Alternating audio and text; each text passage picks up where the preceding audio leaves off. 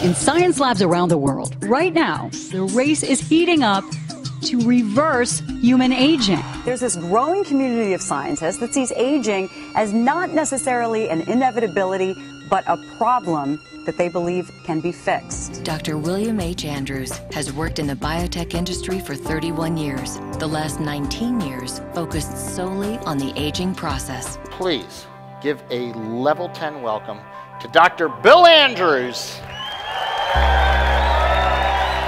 My technology is going to change the world.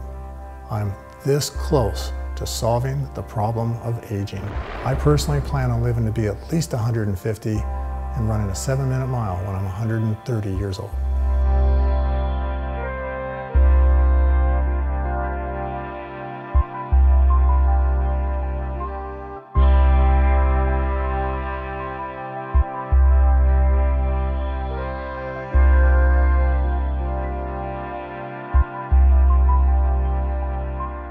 Curing aging is a race.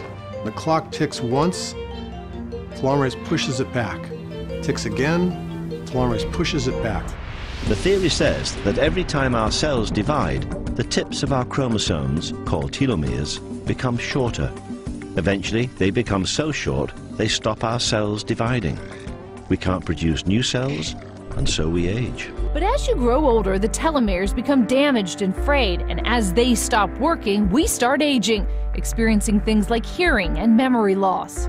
Scientists took mice who were prematurely aged, added an enzyme, and essentially turned their telomeres back on. You can see it before the enzyme, after. Their brain function improved, their fertility was restored. It was a a remarkable uh, reversal of the aging process. The literature tells us that it's, I would say, 95% certain or better that if we can find ways to lengthen the telomeres, we are going to reverse aging.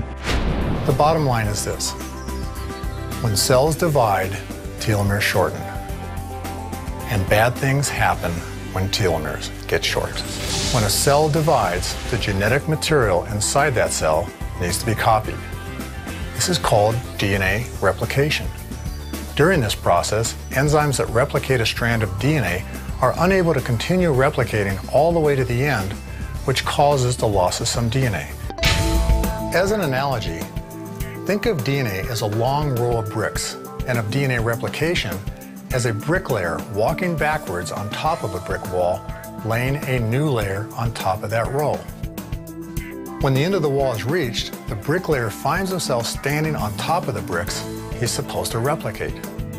But since he can't put down a brick where his feet are, he steps back and falls off the wall, leaving the very end of the wall bare.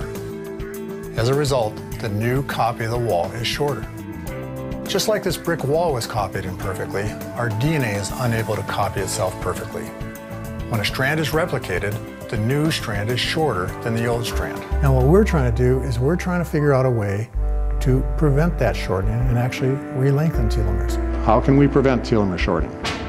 Our reproductive cells have no telomere shortening, and this is why our children are born younger than we are, because our reproductive cells have no aging process. So in trying to understand why this is happening in our reproductive cells, we discovered an enzyme called telomerase. Telomerase re-lengthens telomeres. Every time a reproductive cell divides, the telomere still gets a little bit shorter, but then telomerase re-lengthens it. And in our research, we've discovered if we add more telomerase, the telomeres actually get longer and the aging in the cells actually gets reversed. The cells become younger. We want to find a drug that will get inside of our cells and turn that telomerase gene on so all the rest of our cells in our body don't age, just like our reproductive cells don't age. Now with the $33 million that we've spent, we've already discovered 900 different chemicals that when added to human cells grown in a petri dish will actually cause the production of telomerase. Extrapolating from everything we've done so far, one year we will have a drug that should reverse aging in humans. We have the plan, we have the staff, we have the building, we have the labs, we have the equipment. The bottleneck is the funding. In order to make this research happen, we need investment money. Thank you for taking the time to listen to what I have to say. There's more information on this iPad. Please listen to it and contact me directly if you would like. I look forward to hearing from you.